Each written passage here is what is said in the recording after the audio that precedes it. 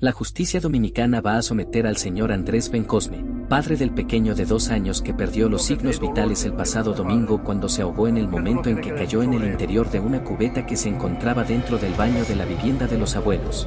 La situación de mente contigo, claro, hay que sepa que eso le pasó. Pero ¿Cómo te sientes? Muy dolido, muy dolido soy yo.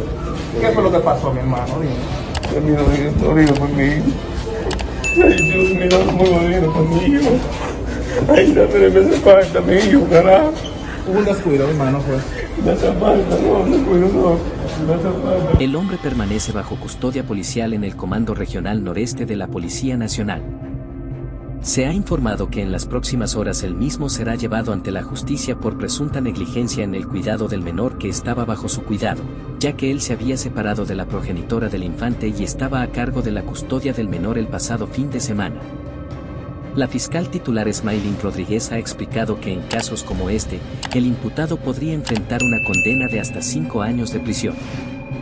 Andrés ha expresado un profundo dolor por la tragedia.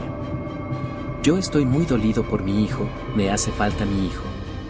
Por otro lado, Rebeca Enríquez, de la Comisión Nacional de los Derechos Humanos, ha afirmado que estará siguiendo de cerca este caso y realizará una investigación exhaustiva. Un primo del detenido pide a las autoridades a que resuelvan este caso ya que el pariente suyo lleva varias horas detenido por el caso.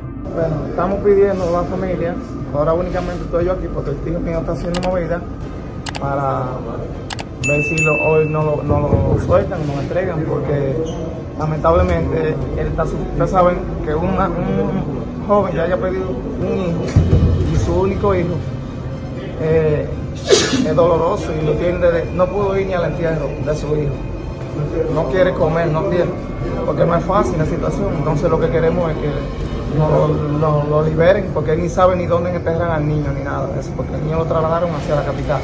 También alegan que, si se trató de un descuido, el señor Andrés no debería tener una condena al ser un supuesto accidente, es por ello que los familiares están solicitando su liberación, argumentando que las causas de la muerte del niño ya se han determinado.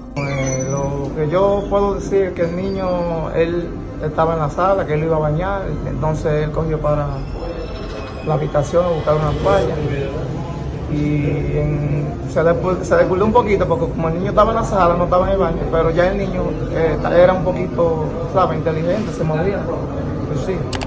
Entonces fue, entró al baño y en el baño hay una cuesta que está aquí. Eh, en el baño, tú sabes que siempre hay un murito. Él tiene dos puertas rodables. Parece que se subió. Voy a sacar como el cubito de echarse agua, que siempre echaba agua el cubito. Rebaló y cayó de cabeza en el cubo. Además, señalan que Andrés ni siquiera pudo participar en el funeral de su hijo.